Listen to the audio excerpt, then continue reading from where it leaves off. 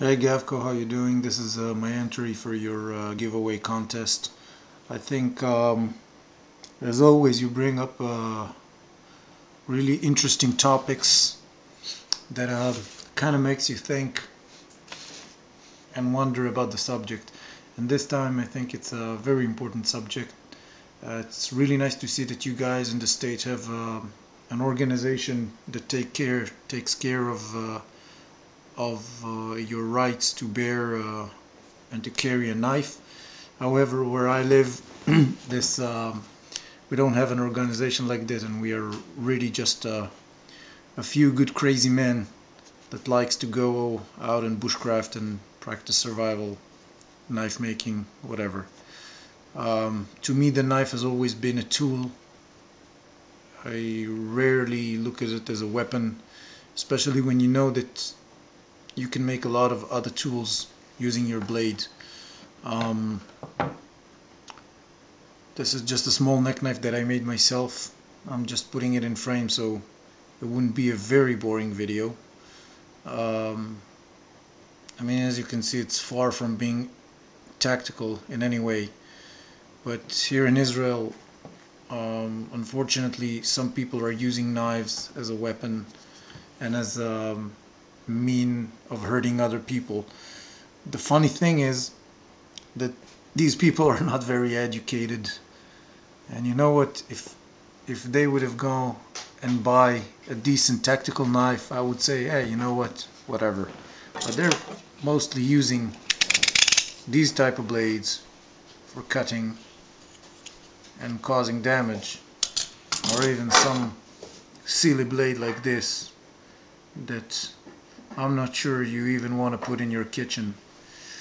And uh, eventually what happens is that the people that do cherish their blades as a tool, as an everyday tool, uh, are being hurt.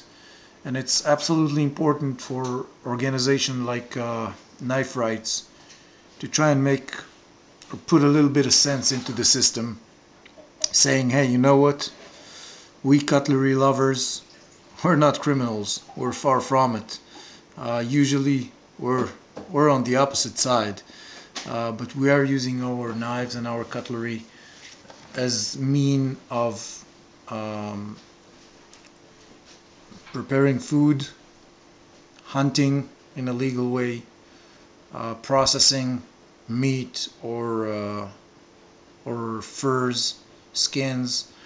Uh, we practice bushcraft. We carve uh, we create nice things. We use our, our blades to help people and not to uh, and not to hurt people. And um, I think this is uh, this is the, the important thing that uh, knife rights are doing. And yeah, absolutely, you know, um, if knives will become hard to buy or possess, the uh, the prices will go up and that is a shame because I think it's a fantastic industry and um, we will eventually just be heard of it. Uh, you know, I can't imagine myself not being able to carry a knife. I mean, what am I going to carve within the woods? A hammer? What, what, what would what would be the next tool to to get out of the system or to be outlawed? A chisel? You know it's a knife.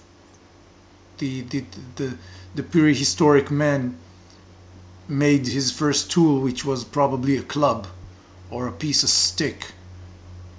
His second tool was maybe a day or two later was a piece of stone that was able to to cut uh, through all sorts of materials. And he said hey you know what? This is a great tool. I'm gonna use it. I'm gonna make it better so you know it's a knife it's a tool. Uh, so I hope you like this video and good luck all in the contest. And I hope uh, knives will get their respect that they deserve to all over the world. Bye bye and take care